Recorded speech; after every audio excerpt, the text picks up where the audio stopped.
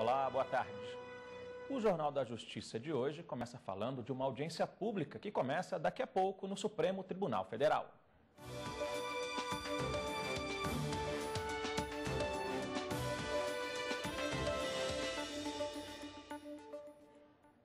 O encontro vai discutir o financiamento de campanha, uma ação que tramita no STF questiona o modelo atual de doação de dinheiro a políticos. Vamos então para o auditório, onde o assunto será tratado. Quem está lá é a repórter Carla Lucena. Carla, boa tarde para você. Já está tudo pronto por aí? Boa tarde, Fred. Boa tarde a todos. Já está sim tudo pronto. A previsão é que a audiência pública, que foi dividida em dois dias, uma começando hoje e a outra na próxima segunda-feira, inicie daqui a pouquinho às duas horas da tarde e se estenda até às sete horas da noite. O pedido, a audiência foi um pedido do ministro Luiz Fux, relator de uma ação direta de uma ação direta de inconstitucionalidade proposta pela Ordem dos Advogados do Brasil, que sugere mudanças no repasse de dinheiro a candidatos e partidos. Segundo a OAB, no modelo de hoje, a fiscalização é praticamente inviável e torna o pleito eleitoral cada vez mais refém dessas doações. Veja na reportagem de Adilson Mastelari.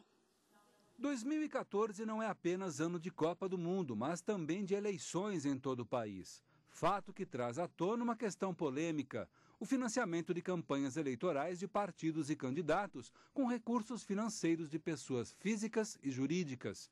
Essas doações são permitidas por leis que definem normas para as eleições. Para a Ordem dos Advogados do Brasil, a força do poder econômico nas eleições não é saudável ao processo democrático. A Constituição Federal assegura que todo poder emana do povo.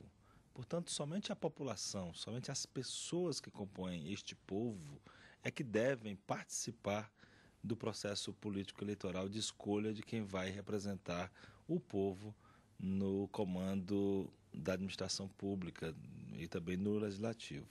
Portanto, as empresas não podem interferir no resultado das eleições. A OAB ajuizou ação direta de inconstitucionalidade contra os dispositivos legais que garantem as doações que financiam as campanhas eleitorais. Temos que apostar na doação física de pessoas físicas nas campanhas em valores módicos, no barateamento das campanhas, como também na fixação de um limite máximo de gastos para cada candidato, porque hoje o limite máximo é fixado por cada partido ao registrar o seu candidato.